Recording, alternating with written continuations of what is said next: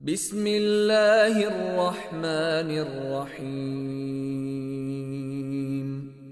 قل هو الله أحد الله الصمد لم يلد ولم يولد ولم يكن له كفوا أحد.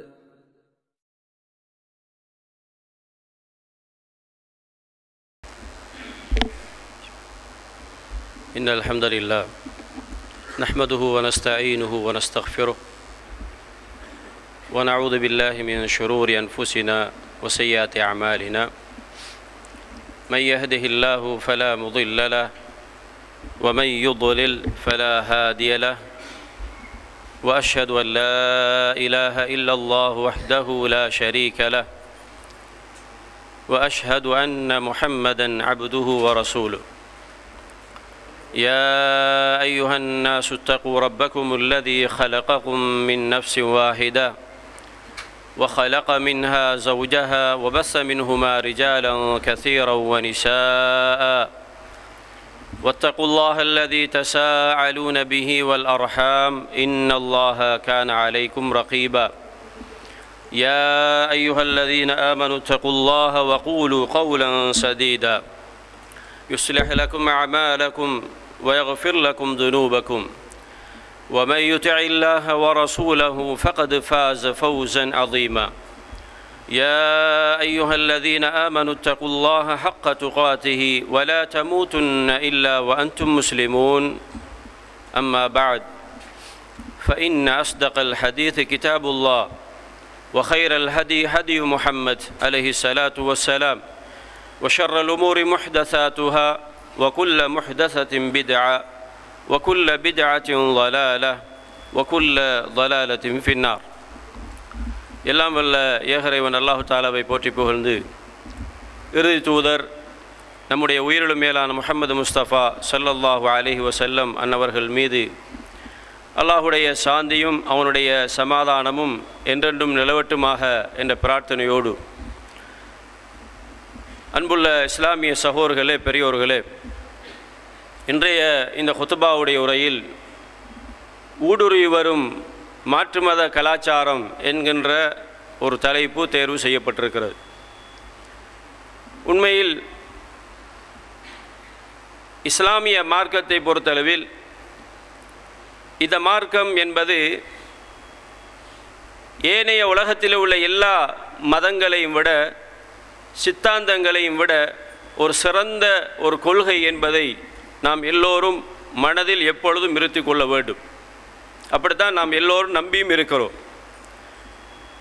அதே நேரத்திலே இந்த இஸ்லாத்தை பொறுத்தளவில் இது எந்த அளவுக்கு நம்முடைய உள்ளத்திலே அதனுடைய உண்மையான இஸ்லாத்தை பற்றிய கண்ணியம் நம்முடைய உள்ளத்தில் எந்தளவு இருக்கிறது என்று ஒருவர் புரிந்து கொண்டால் மாத்திரம்தான். இந்த உலகத்திலே மாற்று மத கலாச்சாரங்களை பின்பற்றாமல் வாழ்வதற்கு அது வழி அமைக்கும். ஏன்னா அல்லாஹ் குரானிலே சொல்கிற பொழுது அல் யவும் அக்மல் துலக்கும் தீனக்கும் ஆத்மம் துவாலைக்கும் நியமதி இன்றைய தினத்தில் நாம் உங்களுக்கு இந்த மார்க்கத்தை சம்பூர்ணப்படுத்தியிருக்கிறோம். நம்முடைய நியமத்தை உங்களுக்கு பரிபூர்ணப்படுத்தியிருக்கிறேன் என்று அல்லாஹ் குர்ஆனிலே சொல்கிறான். அப்படி என்றால் இஸ்லாம் என்ற ஒரு கொள்கை ஒரு நியமா? அது ஆகப்பெரிய ஒரு அருள் என்பதை இஸ்லாம் சொல்லுகிறது. இந்த உலகத்திலே நாம் ஒரு மனிதனுக்கு கொடுக்கப்படுகின்ற பொருளாதாரம் எவ்வளவு பெரிய நியமத்தாக இருக்குமோ ஒரு மனிதனுக்கு கொடுக்கப்படுகின்ற ஆட்சி வளங்கள் என்பது ஒரு மனிதனிடத்தில் எவ்வளவுக்கு பெரிய ஒரு நியமத்தாக அதை அருளாக மனிதன் பார்க்கிறானோ அதையெல்லாம் தாண்டிய ஒரு மிகப்பெரிய ஒரு நியமத்தாக இஸ்லாம் என்ற ஒரு கொள்கையை எந்த ஒரு மனிதன் எந்த ஒரு முஸ்லீம் பார்க்கிறாரோ அப்பொழுதுதான் அவரிடத்திலே மாற்று மத கலாச்சாரம் என்பது எந்த ஒரு தருணத்திலும் அவரிடத்தில் வராது. அதற்கு அவர் முக்கியத்துவம் கொடுக்க மாட்டார்.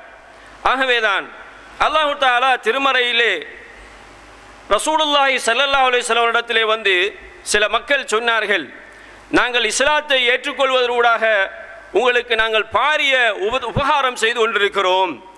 உங்களை நாங்கள் இஸ்லாத்தின் பக்கம் வந்த காரணமாக நாங்கள் ஏதோ இஸ்லாத்துக்கு பெரிய தொண்டாட்டி விட்டோம் என்ற அடிப்படையிலே வந்து சொல்லுகிற சந்தர்ப்பத்தில் அல்லாஹ் வசனத்தை இறக்கினான். யமுன்னு அலைக்கான் அஸ்லமு குல்லா தமுன்னு அலைய இஸ்லாமக்கும். நபியே உம்மோட வந்து அவங்க என்ன சொல்கிறாங்க தெரியுமா? அதாவது நான் வந்து இஸ்லாத்துக்கு வந்ததுனால ஏதோ உபகாரம் செய்து விட்டோம்னு சொல்கிறாங்க ஆனால் அல்லாஹ் உங்களுக்கு உபகாரம் செய்திருக்கிறான். இந்த உபகாரம் என்பது நீங்கள் அவனிடத்தில் இஸ்லாத்தை ஏற்றுக்கொண்ட என்ற காரணத்தினால் அது அல்லாவுக்கு செய்த ஒரு உபகாரமாக மாறிவிடாது. உங்களுக்கு நீங்களே எடுத்துக்கொண்ட ஒரு உபகாரமாக அது இருக்கிறது. நீங்கள் தான் அதை ஆக்கி கொண்டு உங்களுக்கு தான் அது உபகாரம். உங்களுக்கு தான் அது ஒரு சிறந்த ஒரு கொள்கை என்று அல்லாஹ் அதை சொல்கிறான். பலில்லாஹு யமுன்னு அலைக்கும் அன் ஹதாக்கும் ஈமான். இந்த ஈமானை ஏற்றுக்கொண்டு நல்வழிப்படுத்துவதற்கான வழியை அல்லாஹ் தான் காட்டினான். அவன் தான் உங்களுக்கு உபகாரம் செய்திருக்கிறான். ஆகவே இஸ்லாம் என்பது நாம் ஏற்றுக்கொள்வதனூடாக அல்லாஹ்வுடைய தூதருக்கோ அல்ல அல்லாவுக்கோ ஒரு சிறந்த ஒரு விஷயத்தை செய்துவிட்டோம் என்று ஆகிவிடாது.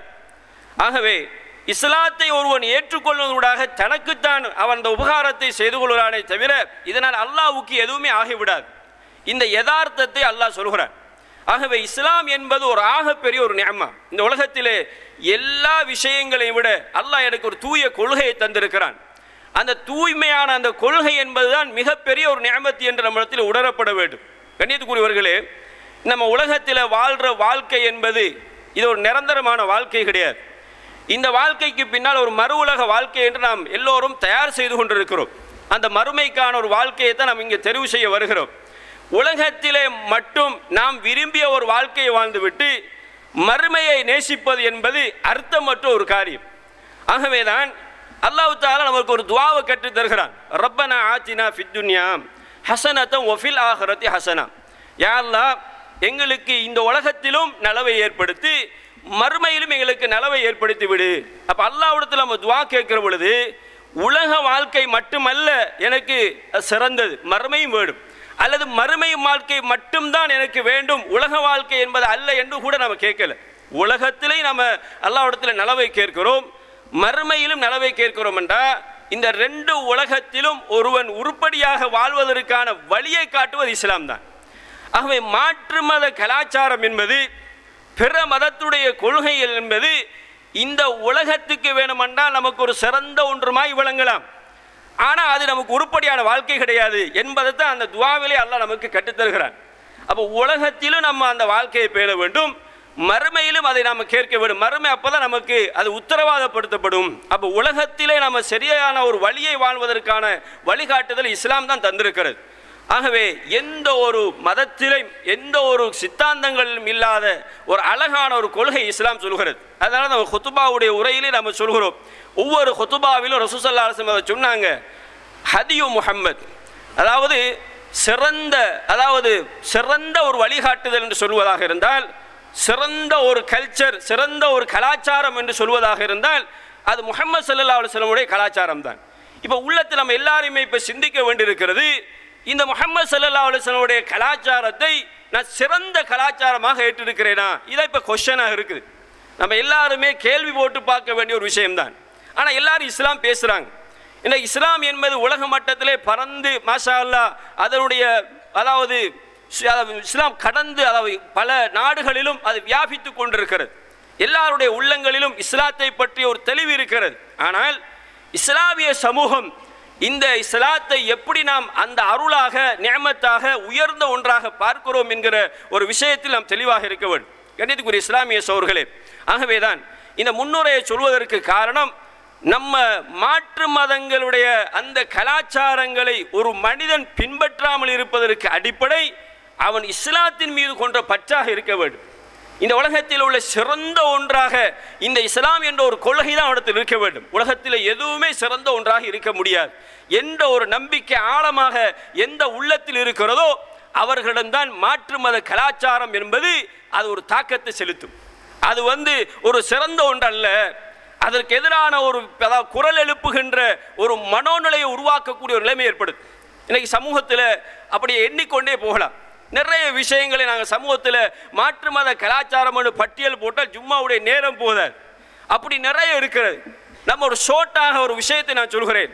இன்றைக்கி உலகத்தில் இன்றைக்கி நடக்கக்கூடிய மாற்று மதத்தினுடைய முஸ்லீம்கள் செய்யக்கூடிய மாற்று மதத்தினுடைய ஒவ்வொரு அம்சங்களையும் நீங்கள் எடுத்து பார்த்தா அந்த அம்சங்களில் எல்லாம் நம்ம இஸ்லாத்தை சரியாக பின்பற்றுறோமா என்கிற ஒரு கேள்வி ஏற்படுத்தக்கூடிய அம்சங்கள் இருக்கிறது. கண்ணியத்துக்குரியவர்களே உண்மையிலே நாங்கள் யோசித்து பார்க்க வேண்டும். இன்றைக்கி நம்முடைய பிள்ளைகளுக்கு நம்ம உயர்தரமான ஒரு கல்வியை கொடுக்கணும்னு நினைக்கிறோம். இதில் தப்பு கிடையாது. ஆனால் இன்றைக்கு உயர்தரமான கல்வியை கொடுக்கணும்னு நினைக்கக்கூடிய இந்த பெற்றோர்கள் பேரண்ட்ஸ் ஆகிய நாம் இன்றைக்கு நம்முடைய பிள்ளைகளுடைய நிலைமை எடுத்து பாருங்கள் நம்மளாம் இப்போ ஜும்மாவில் இருக்கிறோம். எத்தனையோ இன்டர்நேஷ்னல் ஸ்கூலில் படிக்கிற பிள்ளைகள் இன்றைக்கி தொழுகைகளை அட்ஜஸ்ட்மெண்ட் பண்ணுறாங்க ஜும்மாவுடைய நாளில் அவர்களுக்கு ஜும்மா கிடையாது. ஜும்மாவை அட்ஜஸ்ட் பண்ணி இருக்கிறார்கள் ஏன் நினைக்கிறாங்கன்னா நம்ம பிள்ளைகளுக்கு ஒரு உயர்தரமான கல்வி ஏற்படுத்த வேண்டும். இந்த உயர்தரமான கல்வி எங்கே கற்க போகிறாங்க இஸ்லாமிய சூழலுக்கு உட்பட்ட ஒரு சூழலில் கற்கிறாங்களா என்றால் அப்படி கிடையாது. அந்த கல்வியை கற்க போகிறது மாற்று மதத்தவர்களுடைய அந்த பாடசாலைகளில். அங்கே போனால் அட்ஜஸ்ட் பண்ணி தான் ஆக வேண்டி இருக்கிறது. அந்த மத சார்ந்த சில விஷயங்களோடு ஒப்பிட்டு சில விஷயங்களை செய்ய வேண்டி தான் இருக்கிறது. அதில் அவர்கள் சில நேரங்களை ஒதுங்கி நிற்கிறோம் என்று சொல்லிக் கொண்டாலும் இன்றைக்கு நம்ம உள்மனது சொல்கிறது நம்முடைய பிள்ளைகளை மூன்று வயதிலிருந்து அல்லது ஐந்து வயதிலிருந்து அந்த பிள்ளைங்களுடைய அந்த வளர்ச்சி என்பது அவர்கள் எங்கே சூழலில் வளர்றாங்கன்னா இந்த மாதிரியான ஒரு சூழலாக வளர்றாங்க. மாற்று மதத்தவர்களுடைய இந்த கல்வியை உயர்தரமான கல்வியை நாம் எடுத்துக்கொண்ட காரணத்தினால இன்றைக்கு தொழுகை என்பதை அட்ஜஸ்ட் பண்ணுகிறோம். ஏனைய மார்க்க விஷயங்களில் கூட அவர்களுக்கு நேரம் அதை கற்பதற்கு நேரம் கொடுக்க நேரம் கிடையாது. ஐந்து நேர தொழுகை கூட ஜமாத்து கிடையாது.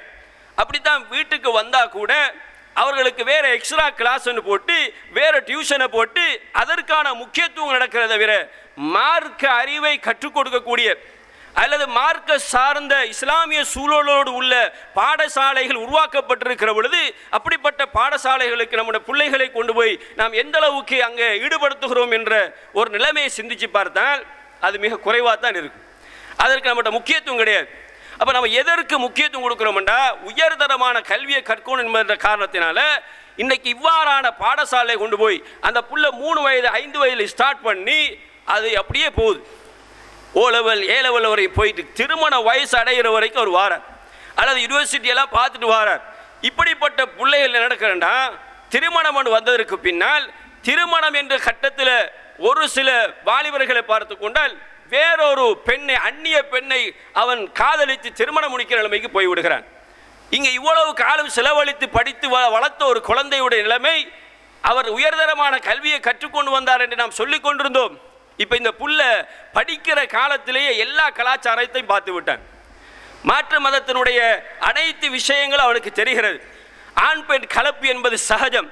இன்றைக்கு ஒரு கேர்ள் ஃப்ரெண்ட் இருப்பது என்பது பாய் ஃப்ரெண்ட் இருப்பது என்பது இன்றைக்குள்ள சமகால பிள்ளைகளிடத்தில் அது பெரிய ஒரு விஷயம் கிடையாது. நம்ம எல்லாரும் கையில் ஹேண்ட்ஃபோன் கொடுத்துருக்கிறோம் ஆண்ட்ராய்ட் ஃபோன் இருக்கிறது. எல்லா பிள்ளைகளும் யார் யாரோட தொடர்புன்னு நமக்கு தெரியாது. ஆனால் இன்றைக்கு நம்ம இன்றைக்கு அது ஒரு மொடரேஷனாக பார்க்கிறோம். அப்போ இப்படிப்பட்ட ஒரு சூழலில் அந்த புள்ள வளர்ற கல்ச்சர் எப்படிப்பட்டது? அதுக்கு ஹராம் பண்ண தெரியாது. இது வந்து ஒரு கூடாத ஒரு செயல்னு தெரியாது. அந்நிய பெண்ணோடு பேசுறது என்பது தனிமையில் இருப்பது என்பது அது ஹராம் என்பது தெரியாது. யார் யாரோடு பழகணும் யாரோடு பார பழகக்கூடாது என்ற அந்த பழக்க வழக்கங்கள் தெரியாது. அவன் வேற வித கலாச்சாரங்களையும் வேற வேற பண்பாடுகளையும் அங்கே அவன் பழகி கொண்டு வந்து திருமணம் ஒன்று வந்ததற்கு பின்னால் அங்கே பல சீர்கேடுகளை பார்க்கிறோம். கணித்துக்குரிய இஸ்லாமிய சோர்களே நாம் ஒன்றை புரிந்து கொள்ள வேண்டும். நாம் உண்மையிலேயே நம்முடைய பிள்ளைகளுடைய விஷயத்தில் எதிர்கால ஜெனரேஷன் நம்முடைய அந்த சந்ததிகளை எந்த அடிப்படையில் நம்ம உருவாக்குகிறோம் என்பது மிக ஒரு முக்கியமான ஒரு விஷயமாக இருக்க வேண்டும். இப்போ ஒரு பிரச்சனை வந்த உடனே எல்லாம் ஓடி வராங்க. பாருங்கள் என் பிள்ளை இப்படி செஞ்சிட்டான். அவன் இந்த மாதிரி போயிட்டான். இதுக்கு என்ன செய்கிறது அப்போ தான் பள்ளியை நாடுறது. அப்போ தான் ஒரு இமாமை நாடுறது. அப்போ தான் ஒரு மோளைட்டு வந்து ஐடியா கேட்குறது. என்னை பிள்ளை நல்வழிப்படுத்தணும்? எங்கேயாவது ஒரு தரபியத்துக்கு போயிலாவா அல்லது உங்களோட சூழலை அவர் கொஞ்சம் வச்சுக்கொள்ளலாவா அவருக்கு ஏதாவது எக்ஸ்ட்ரா கிளாஸ் போட்டு படிப்பிக்கலாவா கண்ணியத்துக்குரிய இஸ்லாமிய சோர்களே இன்னைக்கு இஸ்லாமிய சமூகத்தில் ஏற்பட்டிருக்கக்கூடிய ஆகப்பெரிய ஒரு வீழ்ச்சி இதுதான். அப்போ நம்மளோட பிள்ளைங்களுக்கு கல்வி எந்த கல்வி எதோடு சார்ந்து கொடுக்கப்பட வேண்டுமோ அதை நம்ம முறையாக கொடுக்கல. அதுதான் இன்றைக்கு பெரிய ஒரு விபரீதமாக அமைந்து கொண்டிருக்கிறது. இன்றைக்கி நம்ம பெரியவங்களெல்லாம் நம்மளோட ஊர்களில் நடக்கக்கூடிய ஒவ்வொரு அந்த மாற்று மத விஷயங்களை பாருங்கள் இன்றைக்கி பர்த்டே கொண்டாடுறாங்க. பாடசாலையில் நடக்குது. கல்ச்சர் ஃபங்க்ஷன் ஒன்றும் நடக்குது.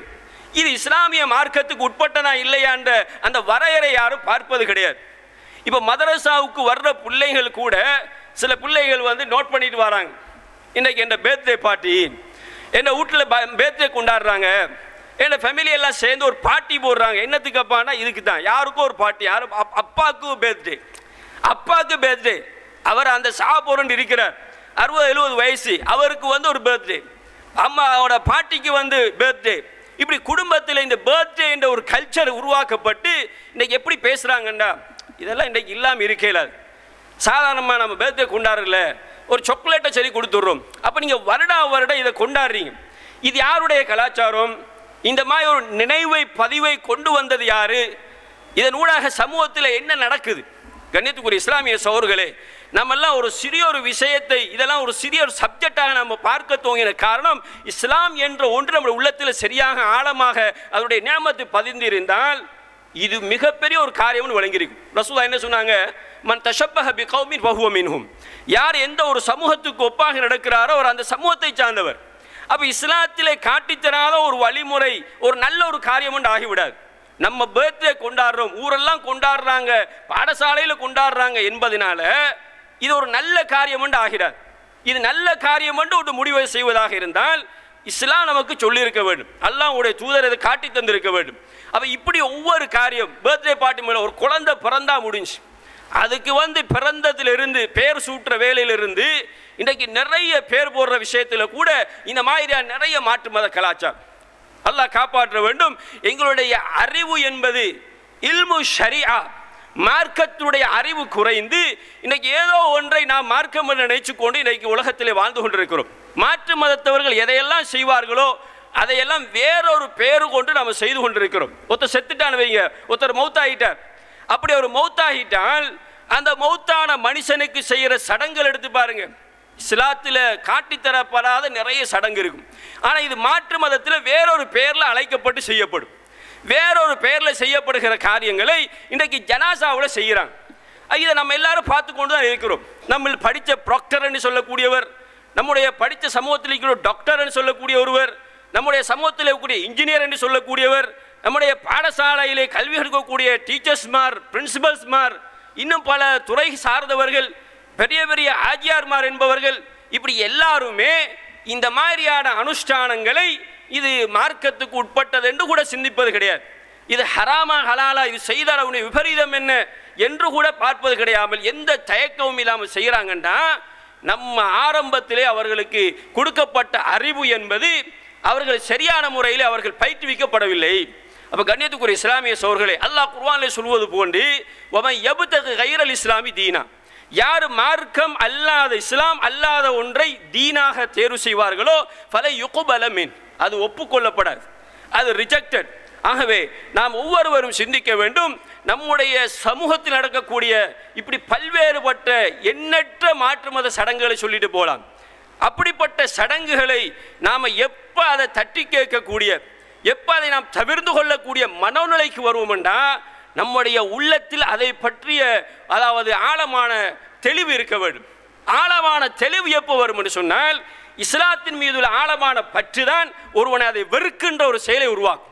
கண்ணியத்துக்குரிய இஸ்லாமிய சோர்களே வெறுமனே நாம் இஸ்லாம் என்று காட்டிக் கொண்டிருக்கிறோமே தவிர ஆனால் உண்மையாக அதனுடைய நியமத்தை நாம் சிந்தித்தால் இது ஆகப்பெரிய ஒரு நியமா. இன்றைக்கு உலகத்தில் எதை நியமத்தைன்னு பார்க்குறோம்? உலகத்தில் எனக்கு கிடைக்கக்கூடிய சமபல கண்ணியம். மாஷால எனக்கு எல்லா இடத்துல போனாலும் கண்ணியம் பண்ணுறாங்க என்னிடத்தில் இருக்கக்கூடிய பணபலம்? என்னிடத்தில் இருக்கக்கூடிய அந்த ஆட்சி அதிகாரங்கள்? நான் வச்சிருக்கக்கூடிய போஸ்டிங் என்னுடைய பணம் இப்படி ஒவ்வொன்றாக மனிதன் அதைத்தான் ஒரு உயர்ந்த ஒன்றாக பார்க்கிறான். அப்போ இஸ்லாம் என்ற ஒன்று ஒழு உயர்ந்த இடத்தில் இருக்குமாக இருந்தால் இதையெல்லாம் தாண்டி இஸ்லாம் என்பது ஒன்றுதான் உயர்ந்த ஒரு அருள் என்று பார்க்கப்படுகிற பொழுதுதான் அவனால் மாத்திரம்தான் இந்த கலாச்சாரங்களை அதோடு விடுபட முடியும். தன்னுடைய சமூகத்தை அவன் அதாவது பாதுகாக்க முடியும் என்பதை புரிந்து கொள்ள வேண்டும். அல்லாஹு தாலா நம் அனைவருக்கும் இப்படிப்பட்ட பிற மத கலாச்சாரங்களில் நிறைய இருக்கிறது. அப்படிப்பட்ட கலாச்சாரம் நமக்கு தெரியாமலும் கிடையாது. இதெல்லாம் ஒரு ஜும்மாவிலே சொல்லித்தான் விளங்கப்படுத்தும் அம்சம் கிடையாது. இஸ்லாம் தெளிவான ஒரு மார்க்கம். ஆனால் அப்படிப்பட்ட ஒரு மார்க்கத்தில் இருந்து கொண்டு இந்த கல்ச்சரை பின்பற்றக்கூடிய ஒரு சமூகம் நிச்சயமாக அவர்கள் வெற்றி அடைய முடியாது என்பதுதான் இஸ்லாம் நமக்கு சொல்லக்கூடிய தீர்வு ஆகவே அல்லாஹு தாலாம் அனைவருக்கும் இந்த இஸ்லாமிய கலாச்சாரங்களை நல்ல முறையிலே அடிப்படையாலே பின்பற்றி செயல்படக்கூடிய நன்மக்களாக அல்லாஹ் நம் அனைவரும் மாக்கியுள்வானாக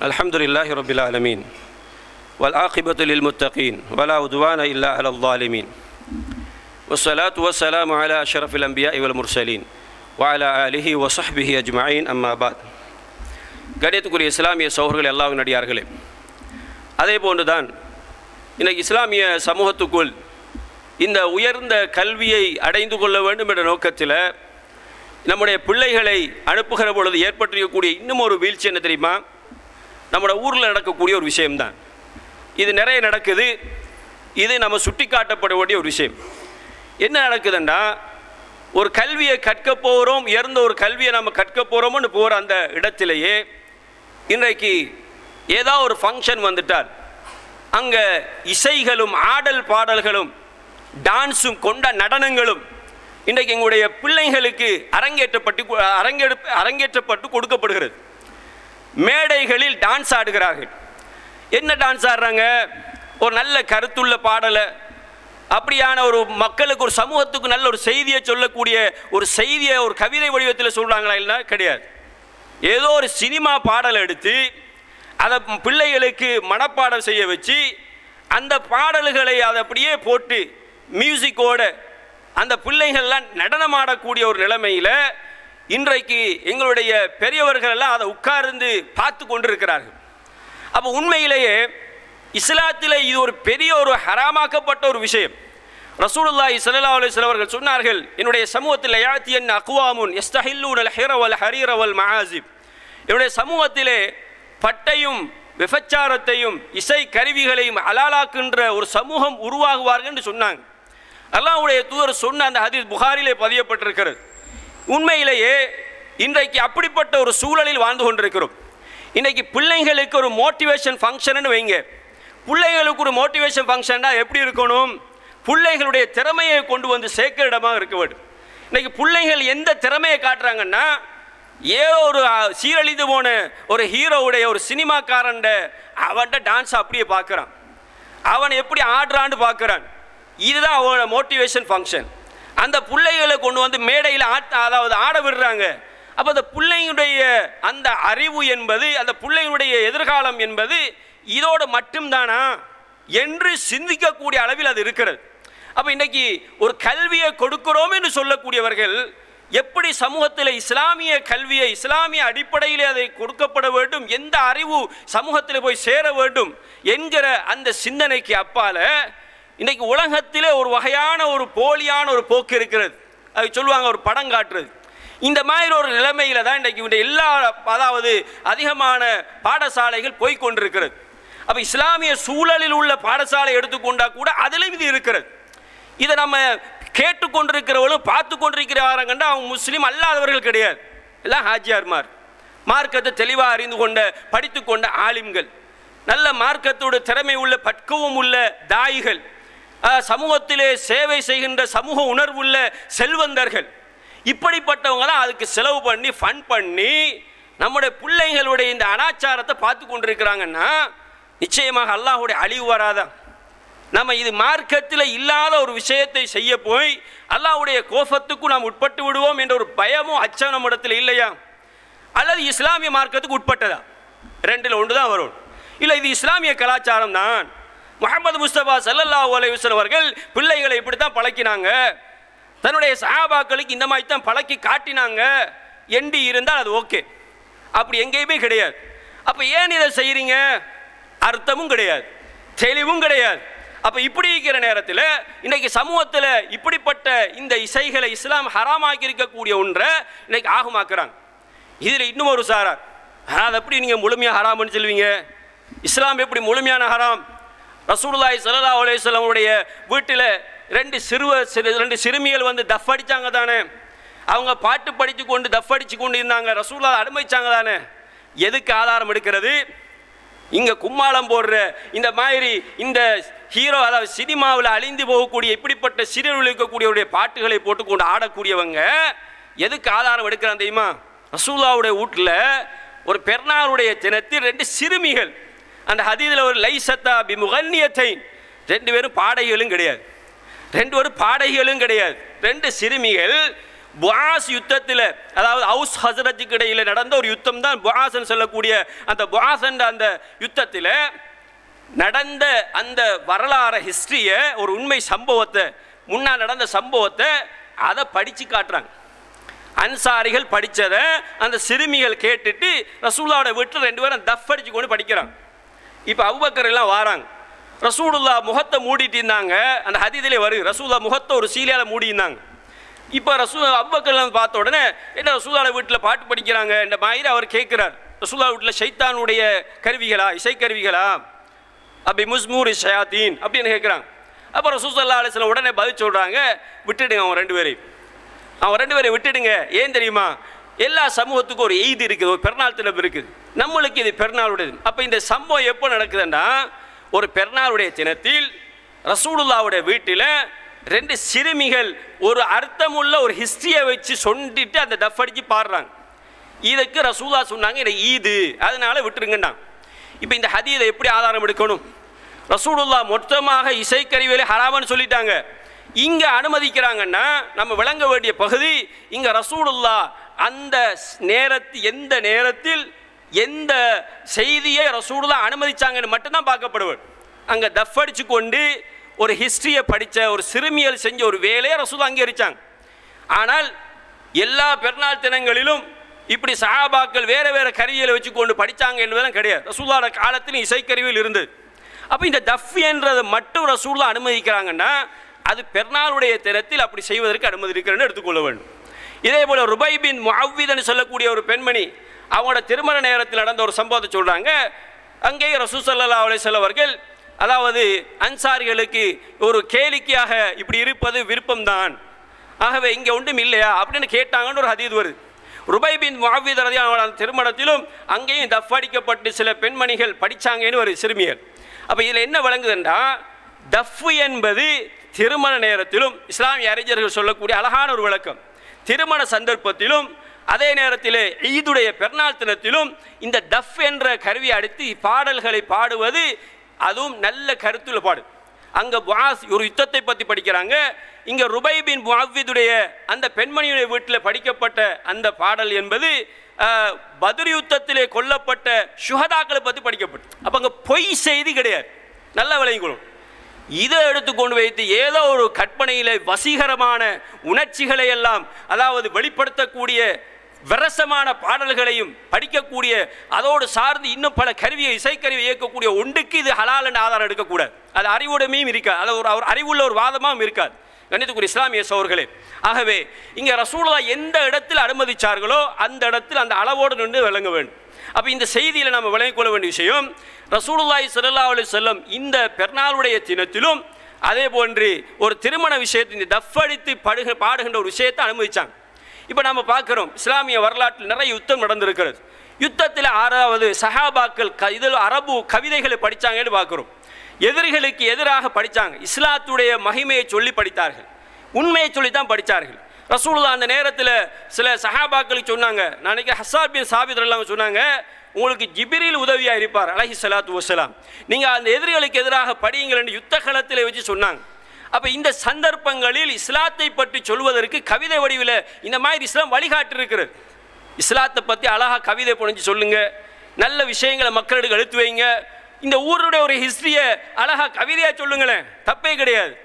ஆனால் இதை பேத்து கொண்டு ஒரு பாடல்களோ மியூசிக்கோ படித்து இதை ஒரு வேறொரு கோணத்தில் வேறொரு சினிமா பாடல்களை கொண்டு வந்து இந்த மாதிரியான விஷயங்களை செய்து சமூகத்திலே இதை ஒரு அரங்கேற்றி இன்றைக்கி எல்லா பேரண்ட்ஸ்மாரும் இதற்கு பின்னால் பணங்களை செலவழித்து கொண்டு போகிறாங்கன்னா இது ஒரு ஹராமாக்கப்பட்ட இஸ்லாத்திலே தடுக்கப்பட்ட ஒன்றுக்கு நாம் உதவியாக இருக்கிறோம் என்பது அடிப்படை அடிப்படையாகிவிடும்.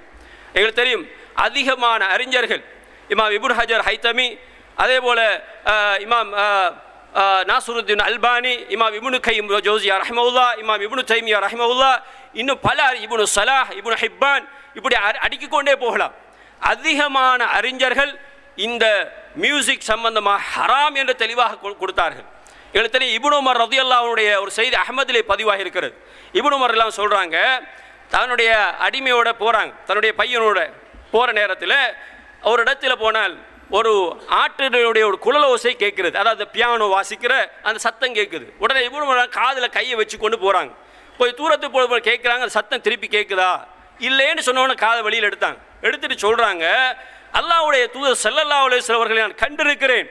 இந்த மாதிரியான சௌத்த ரொஹாத்திம் மஸ் அஹ், மஸ்ஸாமிர் ஒரு வாசம் வரும். அதாவது ஒரு ஒரு அடிமை ஒரு ஆட்டு இடையனுடைய இசையை அந்த சவுத்தை கேட்டவுடன் அந்த குழலோசையுடைய சத்தத்தை கேட்டவுடன் அல்லாஹுடைய தூர் ஸல்லல்லாஹு செல்ல அப்படி காதில் அப்படி வச்சு கொண்டார்கள் அப்போ இது இஸ்லாத்தில் தடுக்கப்பட்ட ஒரு காரியம் என்பது இவ்வளோ மரத்தில் அவங்க ரசூலா செஞ்சாங்கன்னு சொல்லி காட்டுறாங்க.